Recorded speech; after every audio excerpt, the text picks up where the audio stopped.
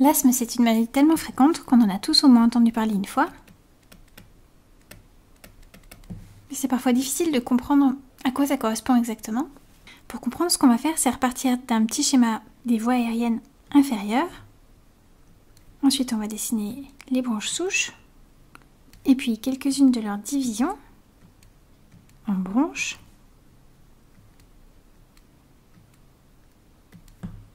On pourrait continuer longtemps, on va juste en dessiner quelques-unes pour bien se représenter ce qui se passe dans les poumons.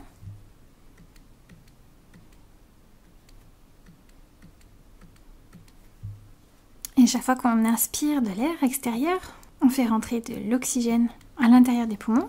Et quand on expire, on en profite pour se débarrasser du dioxyde de carbone produit par nos cellules.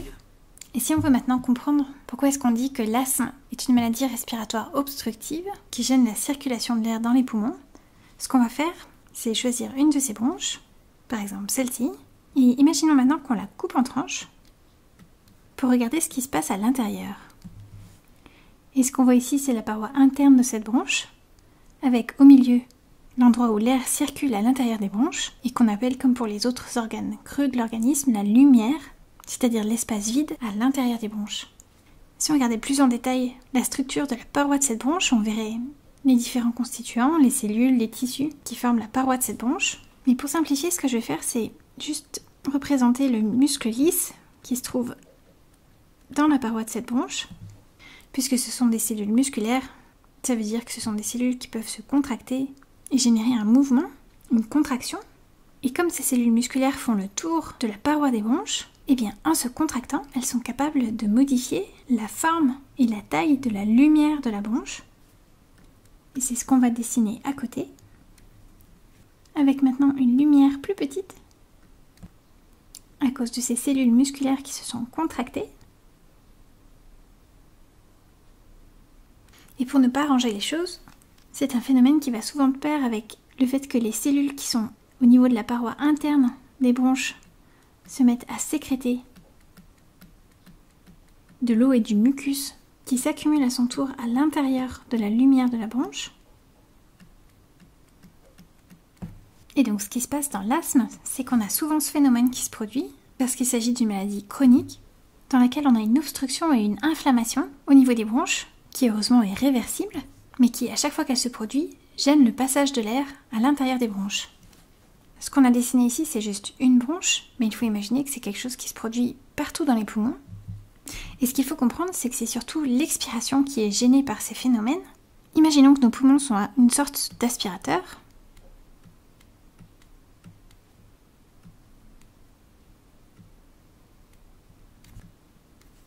Avec ici le diaphragme en dessous des poumons en guise de moteur de l'aspirateur, qui est capable de fournir l'énergie nécessaire pour que l'air entre dans cet aspirateur. Et imaginons maintenant qu'on bloque partiellement l'entrée de cet aspirateur. Grâce à son moteur, l'air continue à rentrer. Finalement, il n'est pas si gêné que ça pour entrer à l'intérieur. Mais maintenant, si on débranche cet aspirateur, et si on ouvre son capot pour essayer de faire sortir l'air contenu dans cet aspirateur, ce qui se passe cette fois-ci, c'est que plus ce tuyau est obstrué, plus c'est difficile de faire sortir l'air, parce que cette fois-ci, il n'y a pas de moteur pour le pousser vers l'extérieur, exactement comme nos poumons, qui se vident au moment de l'expiration, simplement parce qu'ils sont élastiques, parce qu'ils ont été distendus au moment de l'inspiration.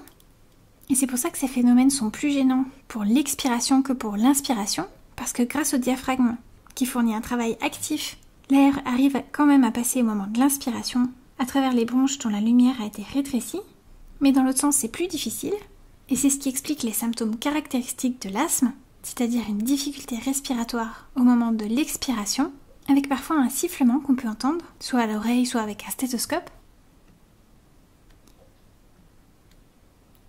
Au niveau des bronches rétrécies, et comme c'est quelque chose qui se produit au niveau de chacune des bronches dans les deux poumons, et eh bien quel que soit l'endroit où on écoute ces poumons, on entend le même bruit, un sifflement expiratoire.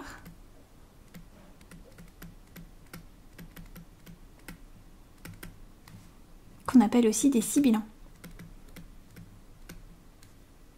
Et si on regarde maintenant qu'est-ce qui peut déclencher ces phénomènes, parce que l'asthme, c'est une maladie chronique mais qui évolue par crise. Et pour chacune de ces crises, il y a un facteur déclenchant. Et le premier de ces facteurs déclenchants, comme pour beaucoup de maladies pulmonaires, c'est le tabac. C'est un facteur déclenchant important de l'asthme et ça n'a pas besoin d'être un tabagisme actif pour être un facteur déclenchant de l'asthme.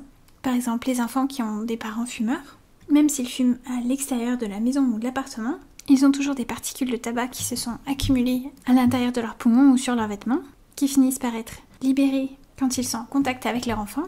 Et pour peu que cet enfant ait un terrain génétique qui favorise la réaction de ses bronches, ça peut être suffisant pour déclencher une crise d'asthme.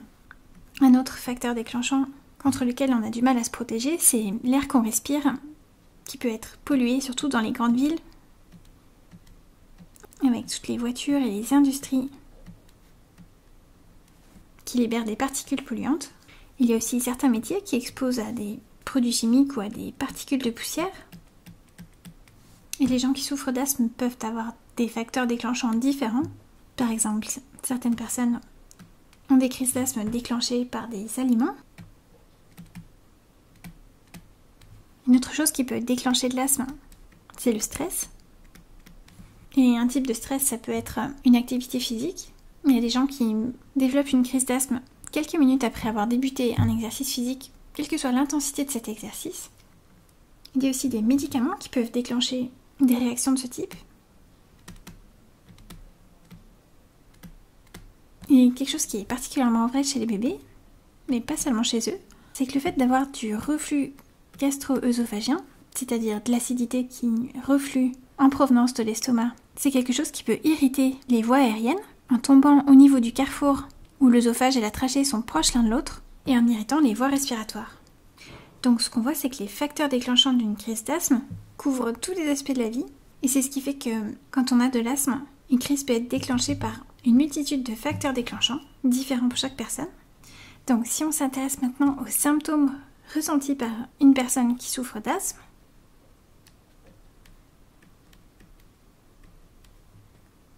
on va lui dessiner quelques cheveux.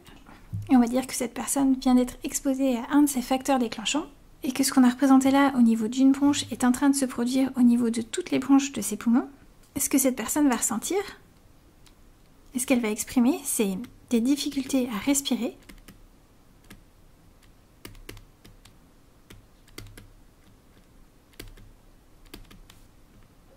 surtout se manifester au moment de l'expiration, parce que c'est à ce moment-là que le rétrécissement du diamètre des bronches est le plus gênant pour la circulation de l'air, et on comprend que ça peut être assez angoissant.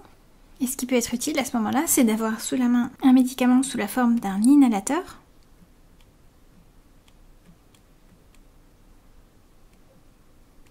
Sur lequel il faut arriver à appuyer tout en inspirant l'air qui s'échappe de cet inhalateur pour que le médicament arrive jusqu'aux bronches et qu'il aide les bronches à retrouver leur état normal. On n'a pas encore compris tous les mécanismes de l'asthme, mais avec ce qu'on sait déjà, on connaît maintenant des médicaments qui sont efficaces sur la crise et qui permettent d'aider les bronches à retrouver plus vite leur état normal et d'éviter la récidive de la crise. Et ce qu'on a remarqué aussi, c'est que l'asthme est souvent associé à d'autres maladies, comme l'eczéma, une maladie qui se manifeste au niveau de la peau par des rougeurs et une sécheresse de la peau. Et l'asthme et l'eczéma ont en commun d'être plus fréquents chez les gens qui ont des allergies. On n'a pas encore élucidé tous les mécanismes de ces trois maladies, mais ce qu'on sait, c'est qu'il y a une sorte de chevauchement et ça peut être important de rechercher l'association de ces différentes maladies chez une même personne pour mieux comprendre quels sont les facteurs déclenchants qui sont à l'origine de ces crises pour éviter qu'elles se reproduisent.